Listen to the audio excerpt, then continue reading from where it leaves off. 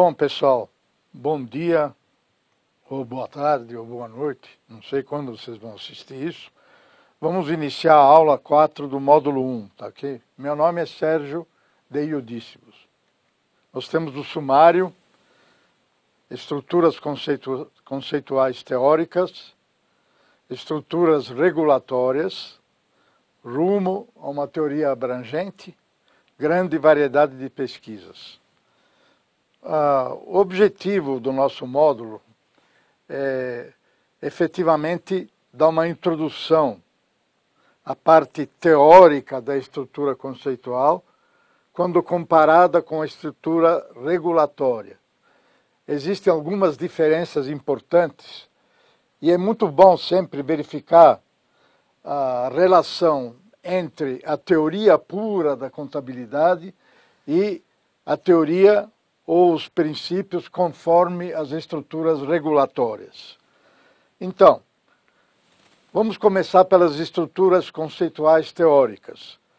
Elas são voltadas à procura de conteúdo correto de cada conceito fundamental.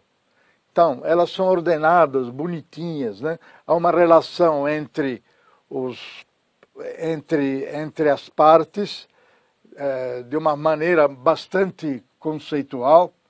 Por exemplo, então, quando a gente fala das estruturas conceituais mais conhecidas, que é a do Hendrickson, é, a gente tem, ele divide a estrutura conceitual em postulados, né, princípios e normas contábeis. Postulados são aquelas uh, afirmações tão uh, grandes, vamos dizer assim, que, que tão importantes e tão é, conhecidas que não precisam ser é, deduzidas. Então a gente tem na estrutura do Hendrix, a gente tem os postulados ambientais, que são dois. Os dois, os dois formulários ambientais são a continuidade e a entidade. Então, a, a entidade é onde acontece a atividade econômica. E o postulado da continuidade é aquele que leva em conta de que uma, um, uma empresa, uma entidade viva, ela, ela, ela, ela vive até o ponto em que a sua estrutura de mercado ela fica inviável. Portanto, uh, então esses dois conceitos, essas duas, esses dois postulados, eles são importantes não apenas para a contabilidade, mas também para o direito, para a administração, para a economia e assim por diante. Uh, a entidade, uh, o, o, o, postulado da entidade é o mais importante no caso, porque uh, desde a noção do direito não se confunde a entidade em si com os sócios dessa entidade.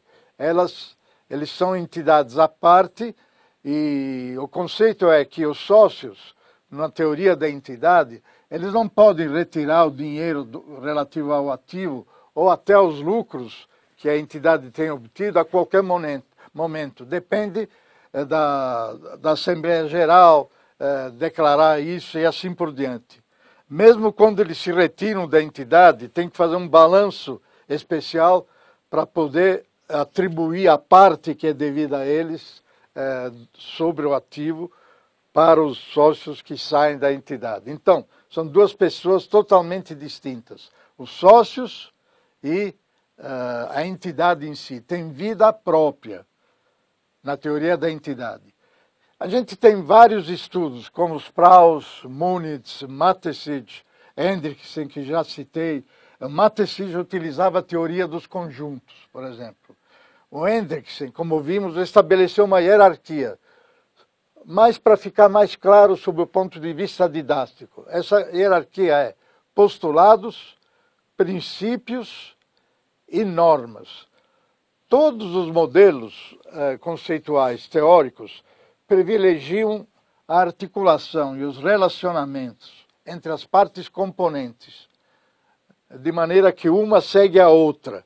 Isso seria o ideal mas poucas vezes os próprios teóricos conseguiram essa articulação de forma tão perfeita assim.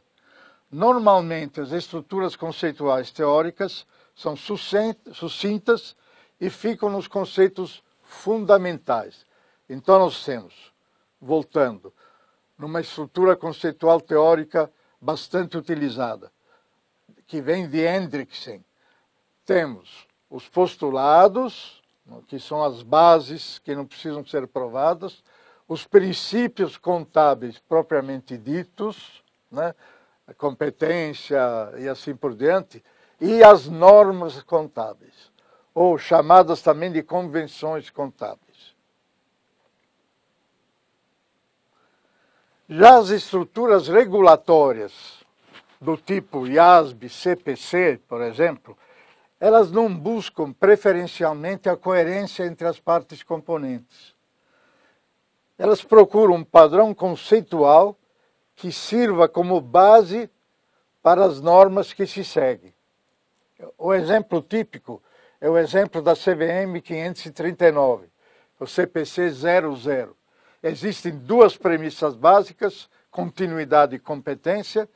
Não há consideração alguma sobre a entidade, e depois o resto é tudo qualidades da informação contábil, né?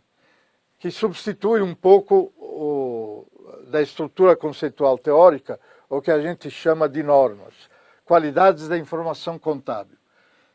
A estrutura da CVM 539, que é o CPC 00, é, ela é ampla e abrangente ela não fala apenas dos princípios em si. Ela define ativo, passivo, patrimônio líquido, etc. E vai até uh, em frente uh, da estrutura conceitual normal e vai até sobre capitalização e assim por diante. Quer dizer, é uma estrutura conceitual extremamente complexa, de grande amplitude, dado que o trabalho do IASB, do qual nasceu a CVM 539, o CPC 00, tem mais de 100 páginas. Essa estrutura conceitual do IASB teve uma nova uh, avaliação, acho que em 2013, a estrutura chamada R1, e mais adiante, em 2018, há uma nova estrutura conceitual do, do IASB, que tem que ser observada pelo CPC e assim por diante. É, não há grandes alterações da estrutura 500, da CVM 539 e as outras, é, a não ser que numa delas, a primeira e a segunda estrutura conceitual do IASB, os, os usuários preferenciais são os aportadores de capital, isto é, os acionistas ou cotistas. Já na outra estrutura, houve um outro é, usuário preferencial, que são os credores. Então, essa foi uma diferença. O resto são pequenas avaliações, pequenas diferenças nas definições de ativo, passivo e assim por diante. Então, resumindo, as estruturas puramente teóricas, elas são extremamente resumidas, procuram guardar uma coerência entre postulados, princípios e normas, também chamadas convenções. Já a estrutura regulatória, no caso do IASB, uh, CPC, uh, ela procura ter uma base teórica conceitual para justificar mais tarde as normas contábeis que se seguem. Agora, sob um ponto de vista puramente teórico, voltando à parte puramente teórica, a abordagem da teoria depende da visão de mundo do pesquisador, isto é, dos paradigmas que o, que o pesquisador é, escolhe ou aceitou. O campo da contabilidade, é importante a gente é, realçar, está em plena efervescência. A gente tem como metodologias principais, principais, não únicas de pesquisa, a metodologia positivista e a metodologia interpretativa ou normativa. A metodologia positivista uh, se utiliza das técnicas de pesquisa uh, que, que emanam das ciências exatas uh, da, da matemática, das ciências biológicas e assim por diante. E normalmente tem uma abordagem quantitativa, matemática ou estatística bastante ampla. As interpretativas já seguem mais uma análise dedutiva e, uh, havendo um determinado problema, o que, que a interpretação normativa faz? Ela aconselha uma determinada solução para este problema. Então, a abordagem positivista, metodologia positivista, ela é essencialmente indutiva, ela se limita a uma amostra, essa pesquisa, e a, já interpretativa ou normativa, ela é essencialmente dedutiva. É claro que essas duas metodologias dão a origem a pesquisas completamente diferenciadas. O grande problema da metodologia positivista é que ela não se adequa totalmente a uma ciência social, embora aplicada como é a contabilidade. Se adaptaria mais a, a, vamos dizer assim, a ciências absolutamente exatas ou físicas. Então, de acordo com a visão de mundo de cada autor, os textos resultantes parecem totalmente diferentes um dos outros. A gente pode dizer que há várias teorias parciais, e assim o campo de isomorfia dos conteúdos dos vários livros é reduzido. O que é campo de isomorfia? Os campos em que ah, o que é tratado é mais ou menos igual.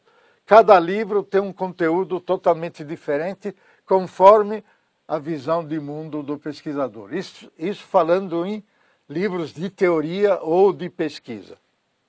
O positivismo, como nós vimos antes, como metodologia dominante, trouxe grande variedade de pesquisas, com resultados contrastantes. Às vezes você tem pesquisas de dois atores diferentes sobre o mesmo assunto e a conclusão é completamente diferenciada. Há uma variedade tão grande que fica difícil traçar uma linha evolutiva dessa pesquisa. E para a gente ter uma ideia da, dessa análise evolutiva, teríamos que verificar o livro Teoria Avançada da Contabilidade, da própria Atlas Gen.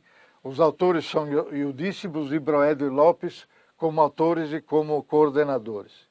Então, com tanta variedade de resultados dependentes, muito da amostra e dos modelos utilizados, sempre restam dúvidas sobre as conclusões. E a gente diz, ainda bem que restam dúvidas, porque se não houver dúvida, não há eh, progresso da ciência. Conclusão: a formulação de uma teoria completa e axiomática está talvez ainda distante para a contabilidade. Mas isso significa que há sempre muito por fazer numa ciência social como a nossa.